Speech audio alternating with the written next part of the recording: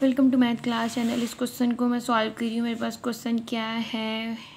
Factorise करना है मैंने एक्सप्रेशन को और डिवाइड करना है। तो ये डिवाइड साइन से पहले है तो ये मेरे पास नोमिनेटर पार्ट है और डिवाइड साइन के बाद जो है वो डिनोमिनेटर पार्ट है। इसको मैं ऊपर राइट करती हूँ Y square plus seven Y plus ten को और जो ये है वाई प्लस फाइव इसको मैं नीचे राइट कर देती हूँ। फैक्टराइज करना है। अब ये तो फैक्टराइज नहीं होगा, ये हो सकता है यस ये पॉसिबल है तो इसको हम फैक्टराइज करते हैं। फैक्टराइज इस तरह से हम करेंगे कि मिडल टर्म ब्रेक करते हुए फैक्टराइज करेंगे। फैक्टराइज जब भी हम करते हैं तो हम देखते हैं। सबसे पहले जो माइंड में हमारी बात आती है और आनी भी चाहिए, वो ये है कि पहले कॉमन ले सकते हैं कुछ। ओवरऑल कॉमन नहीं ले सकते, नहीं ले सकते तो फिर हम ये देखते हैं कि कोई फार्मूला अप्लाई हो सकता है। या मिडल टर्म ब्रेकिंग कर लें बिकॉज़ थ्री टर्म्स हैं तो फिर हम मिडल टर्म ब्रेकिंग पे चले जाते हैं। मिडल टर्म ब्रेकिंग के लिए ये होगा कि जब हम फैक्ट्राइज कर रहे होते हैं by middle term breaking first term वैसी आ जाती है, जो थर्ड टर्म है वैसी आ जाती है। सेंटर में हमने टू टर्म्स ऐसी लेनी होती है कि जिनको जो है हम सॉल्व करें तो ये आए। और उन्हीं टर्म्स को हम इस तरह से वही टर्म्स लें, उन्हीं को मल्टीप्लाई करें तो हमारे पास वो है जो इनको मल्टीप्लाई करके आता है फ़र्स्ट और थर्ड टर्म को। तो इनको मल्टीप्लाई करके क्या आ रहा है टेन वाई स्क्वायर तो हमें क्या रिक्वायर है टेन वाई स्क्वायर कि हम टू टर्म्स ऐसी लें जिनको सॉल्व करो तो यह है, उन्हीं को मल्टीप्लाई करो तो टेन वाई स्क्वायर चाहिए। तो अगर हम फाइव और टू ले लें। तो उनको सॉल्व करने से प्लस करने से सेवन भी आता है सेवन वाई और उन्हीं को मल्टीप्लाई करने से टेन वाई स्क्वायर आता है। तो परफेक्ट रहेगा five Y plus two Y और आपने एक बात याद रखनी है, जो इधर साइन हो, वो इधर राइट कर देना, फिर इधर एडजस्ट कर लेना। अगर हम माइनस करते हैं तो फाइव में से टू थ्री तो इधर तो सेवन है, इसलिए माइनस ले नहीं सकते हमने। इधर प्लस साइन लेना था बिकॉज़ इधर प्लस था, इधर फिर हमने एडजस्ट कर लेना होता है कि कौन सा साइन ठीक रहेगा। और इनको मल्टीप्लाई सॉल्व करो तो यार इनको मल्टीप्लाई करके ये रिक्वायर था, वही यार है।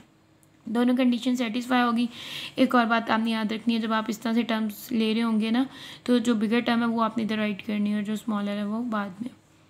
तो इस तरह क्या हो जाता है कि आपके पास साइन भी सही से राइट हो जाते हैं बिकॉज़ जो इधर साइन है, वो इधर लेना होता है, और जो बड़ा है, वो इधर राइट कर दो। फ़र्स्ट में वाई प्लस फाइव वैसे आ जाएगा। बहुत ईजी है, मैंने वैसे भी वीडियोस बनाई हुई हैं। Factorization by middle term breaking वो आप पहले सीख सकते हो अगर आप फ़र्स्ट टाइम सीख रहे हो। फिर क्या है, होना है कि अब टू टू टर्म में से कॉमन ले लेना इन टू टर्म में से और इन टू टर्म में से। इन टू टर्म में से कॉमन हमारे पास वाई आता है तो ठीक है वाई कॉमन ले लेते हैं। जब ओवरऑल वाई कॉमन ले लिया, इस टर्म में से वाई कॉमन आ गया तो वाई स्क्वायर था तो वन वाई रह गया प्लस वाई कॉमन ले लिया तो फाइव रह गया। प्लस कॉमन क्या लेंगे? टू ले सकते हैं yes because divisible divisible by two है और ये भी डिविजिबल बाई टू है। तो जब टू ओवरऑल कॉमन ले लेंगे तो क्या रह जाएगा? टू कॉमन ले लिया वाई रह गया। प्लस टू कॉमन ले लिया टू कितने टाइम टेन होता है फाइव टाइम फाइव रह गया। अब डिनोमिनेटर में हमारे पास क्या है? वाई प्लस फाइव है, वो वैसे ही आ जाएगा। फिर यहाँ पर क्या है? इन दोनों को ज्वाइन करके राइट कर देना एक ब्रैकेट में।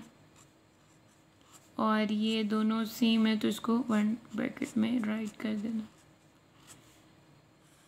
और जो डिनोमिनेटर में वो वाई प्लस फाइव वो एज इट आ जाएगा। अब क्या हो जाना, अब कटिंग हो जानी है। आपको पता है, ऊपर नीचे जब हम कट करते हैं ना नोमिनेटर डिनोमिनेटर में तो उसका सेम होना ज़रूरी है कि यहाँ है, यहाँ पर भी है। फाइव इधर है तो इधर भी फाइव है, इधर प्लस है तो इधर भी प्लस है।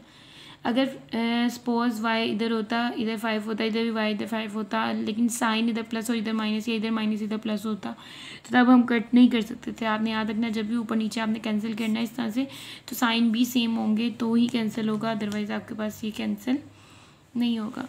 फिर आपके पास क्या रह गया जस्ट वाई प्लस टू और वो आंसर आ गया। अगेन देख लो क्या किया कि ये जो है ऊपर राइट कर दिया, ये नीचे राइट कर दिया बिकॉज़ डिवाइड साइन के बाद था, जो भी डिवाइड साइन के बाद वो नीचे आ जाता है डिनोमिनेटर पार्ट होता है, जो डिवाइड साइन से पहले वो नोमिनेटर पार्ट होता है नोमिनेटर में आ जाता है।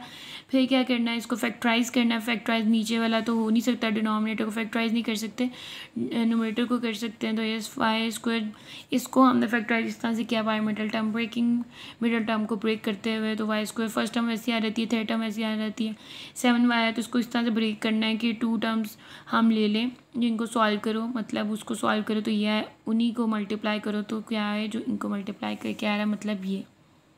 तो दोनों कंडीशन सेटिस्फाई इनको सॉल्व करने से ये भी आ रहा है मल्टीप्लाई करने से जो चाहिए था वो भी आ रहा है। तो इसलिए ये परफेक्ट है। उसके बाद क्या करना है, इन दोनों में से कॉमन इन दोनों में से कॉमन इन दोनों में से कॉमन लिया वाई वाई रह गया प्लस फाइव रह गया प्लस इन दोनों में से कॉमन टू वाई रह गया प्लस टू कितने टाइम टेन होता है फाइव टाइम अच्छा आपको ये कैसे पता चलेगा यहाँ तक सही आपका यहाँ तक सही? इस तरह से होगा कि ब्रैकेट में सेम आ रहा है। साइन सेम ना आए या इधर वाई है तो इधर वाई हो, इधर फाइव है तो इधर फाइव ना हो, कुछ भी सेम ना हो तो इसका मतलब कोई मिस्टेक हुई है। लेकिन यहाँ पर हमारे पास सेम है, साइन भी सेम है तो इसका मतलब यहाँ तक ठीक हो गया। फिर आपने क्या करना है, इन दोनों को ज्वाइन करके राइट कर देना दोनों सेम है तो वन टाइम राइट करना होता है। डिनोमिनेटर में जो भी हो राइट कर दो कट हो गया। और यहाँ पर जो रह गया वो आंसर इस तरह से आप ये नोट कर सकते हो। होप्स अच्छे से समझ आ गया होगा। वीडियो अच्छी लगे तो वीडियो को लाइक करें। चैनल को सब्सक्राइब करें। Thanks for watching this video take